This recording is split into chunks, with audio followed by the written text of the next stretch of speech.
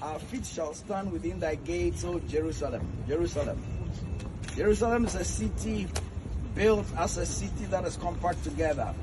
Whether the tribes go up, the tribes of the Lord unto the testimony of Israel to give thanks unto the name of the Lord. For there are set thrones of judgment, the thrones of the house of David. Pray for the peace of Jerusalem. They shall prosper that love thee. Peace be within thy wall and prosperity within thy palaces. For my brethren and companions' sake, I will now say, Peace within thee.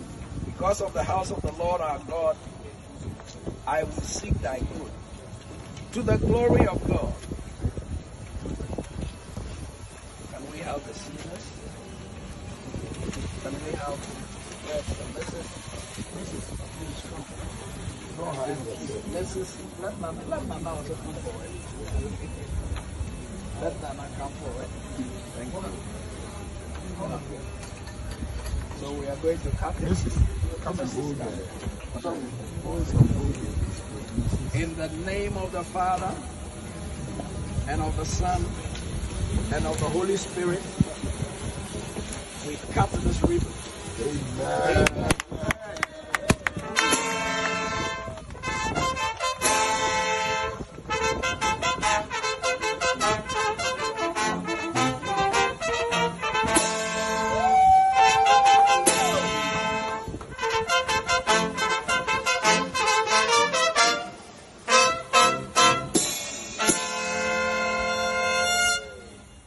I present the keys to the building to the Archbishop.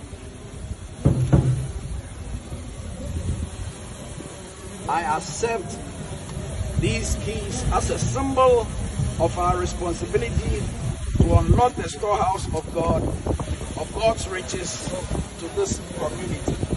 Amen. Amen.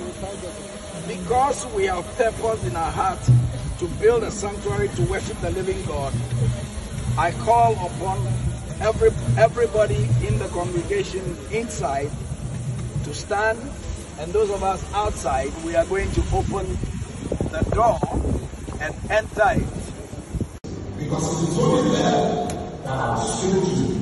It is only there that I will reveal things. If I will use you to solve